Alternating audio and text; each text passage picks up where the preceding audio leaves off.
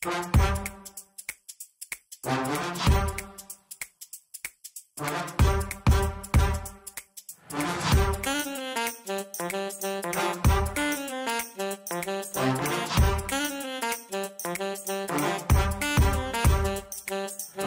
I'm Mike Maloney, and welcome to another CSRM podcast.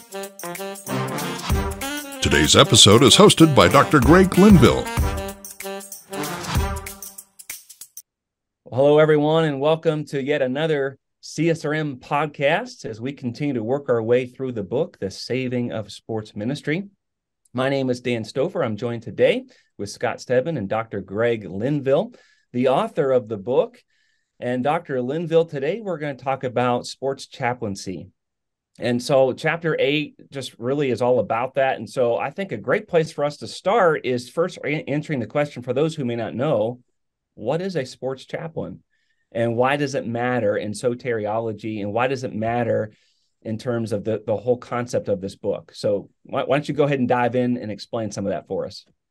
Yeah, if people have not been with us up to this point or they don't have the book, we're, we're really trying to help people understand how to be more effective in their ministry of doing what they're set out to do and that is to actually go and make disciples and and we're we're banging this drum pretty loudly that it's more than just getting somebody to raise their hand or pray a prayer but that's that's a huge step we praise god when that happens, but we want that to be then the next step rather than the end step. And that there's steps after that, not to earn yourself salvation.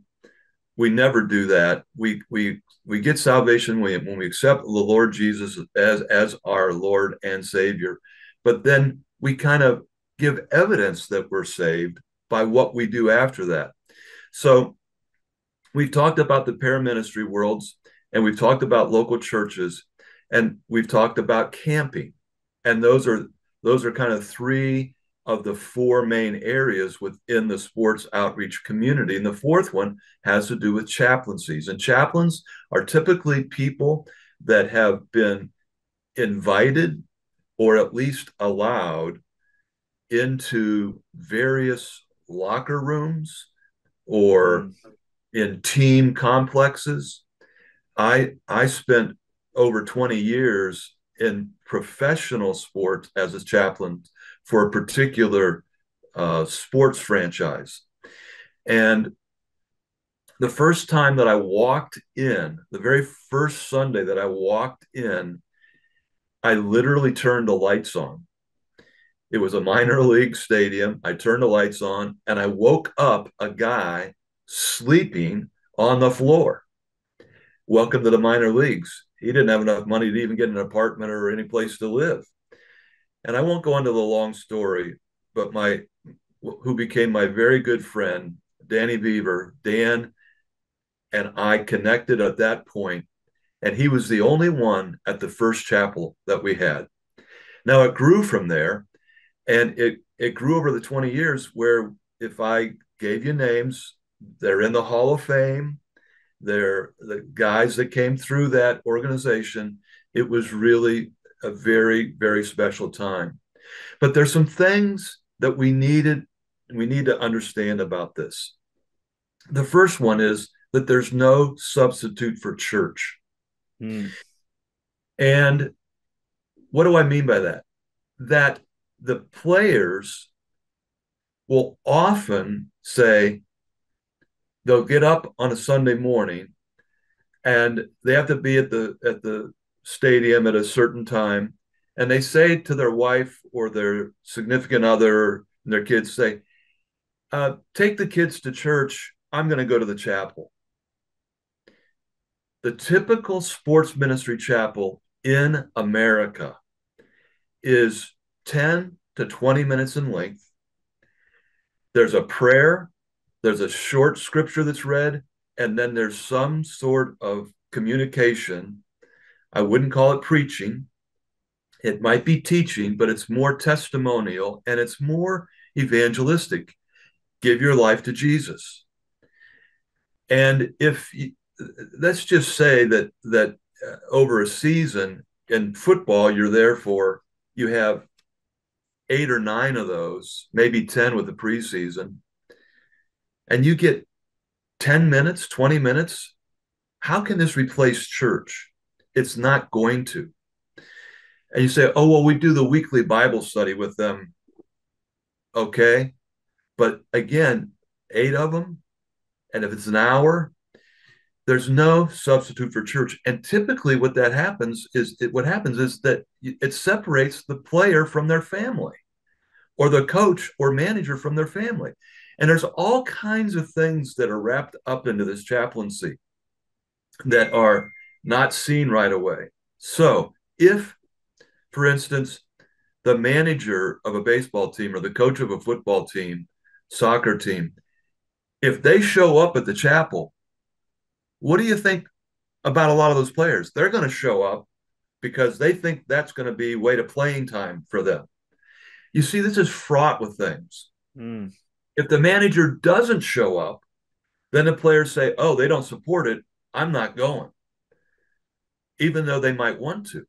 There's some difficulties with this chaplaincy in America. Now, a caveat in the book, there's a whole section written by our very, very good friend.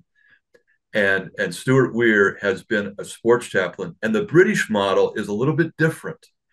They're there to serve. They're there, not that Americans don't serve, but typically American chaplains come in and they they do that preaching, teaching thing and they don't do anything else. The, the European British model does more of all these things, less on the preaching, teaching. Not that they're opposed to it, it's just a different model. So be aware of where you are in your in the world and in your culture of, of these different things. But no excuse, no substitute for church. Players get up early, go to the early service, Take your kids, take your wife, take whatever, and get involved in a church. No excuse, no substitute. The 2nd mm-hmm. thing, there's no excuse and no substitute for radical discipleship, meaning you can't come to the chapel and just rub it like it's a rabbit's foot or a talisman or something. Hmm. you got to really live for Jesus. Because if you've ever been in those settings, it doesn't take you very long to find the pornography is all over the locker room. And for the Christian, declare this is a no porno zone. Hmm. Anybody doesn't want porno, we're in this section. In the restroom, in the locker room, wherever. I, there's a radicalness that needs to come. And then there's other things that the expectations that the team that you're a chaplain from, particularly if you're you're in professional sports or you're Division One college football, if you're not helping my team win, we don't want you as the chaplain.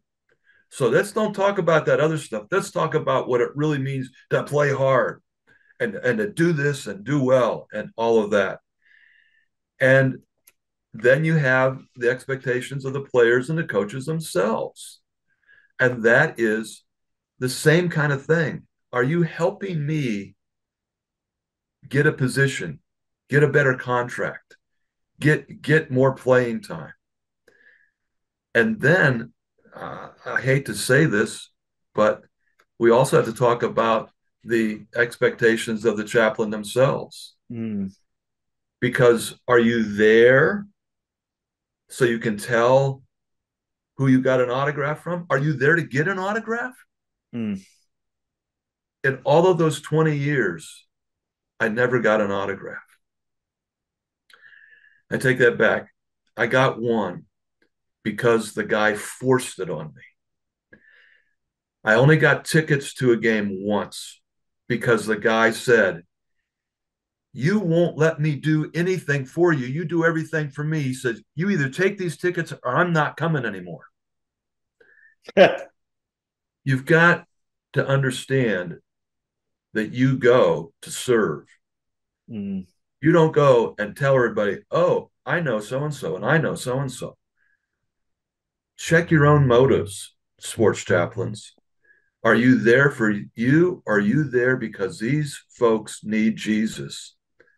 And there's no substitute then for Jesus. There's nothing else but getting these folks Jesus. Guys, pick up on any of it. Hmm. Greg, I think again, like we've talked about with other paraministry organizations in a local church, if if there's an intentional plan, there's great opportunity. Yes. I, I think on two levels. One, because you have experienced this and your perspective matters. When you get into the locker room, that's a sacred place. Um, I never played D1 or any sort of pro sports, but I I know that the locker room is a very sacred place, and so you played high school, you played college, uh, you get it.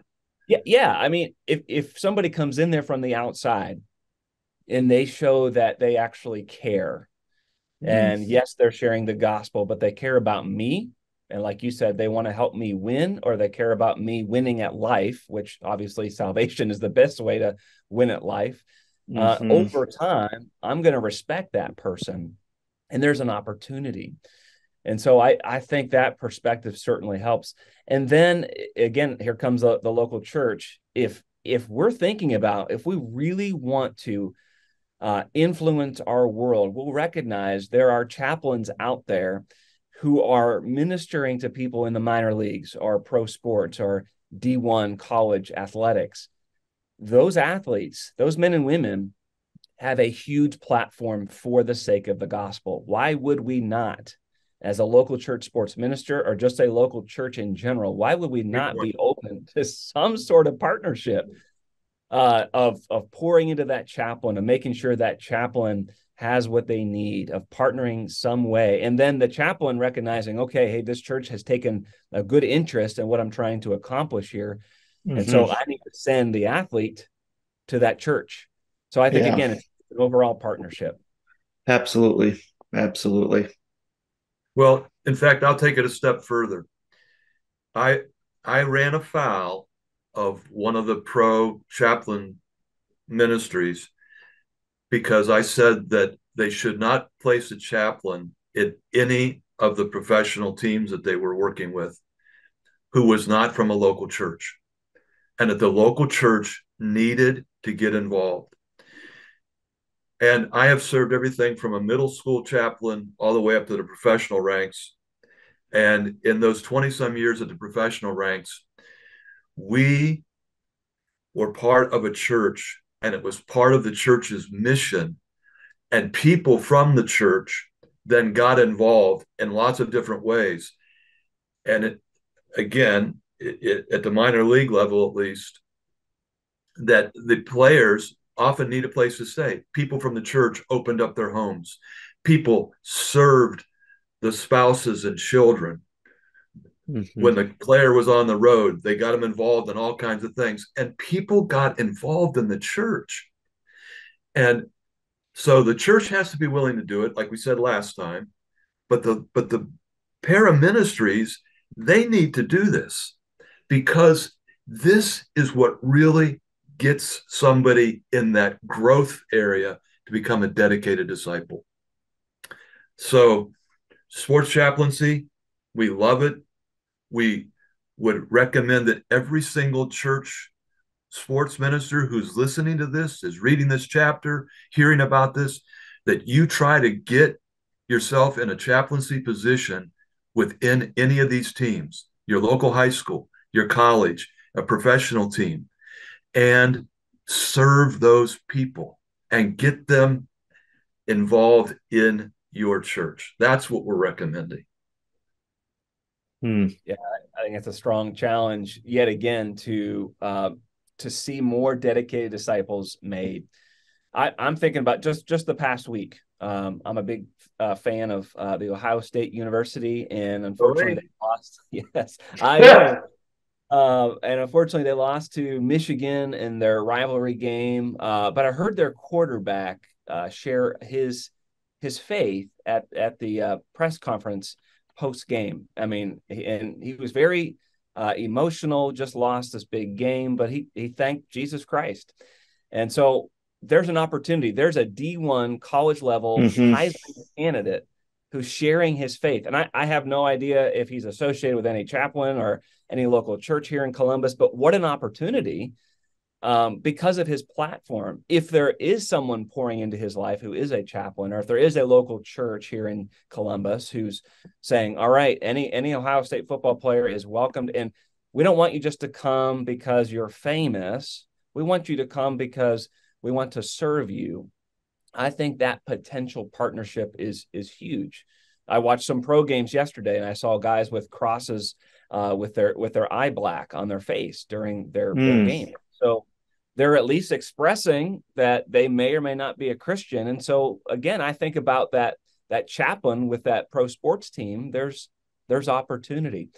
And so, Greg, I think this takes sports ministry to a whole new level if there are intentional plans and, and very intentional relationships being built, which is one of our R's at CSRM. We want to see this happen in yes. the sports focused community because if we're intentional, what God can do with the gospel is is just so mind blowing, and the people that that we can reach because we do live, if we're honest, in a very sports crazed society, and so okay, we can push against that and look at all that's wrong with it, and there are a lot of things that are wrong, or we can embrace it by saying, okay, I may never be able to get in a locker room, but there's a chaplain who can, and I need to support them and then build bridges to make sure that we can make more disciples. And so I think it's a healthy challenge.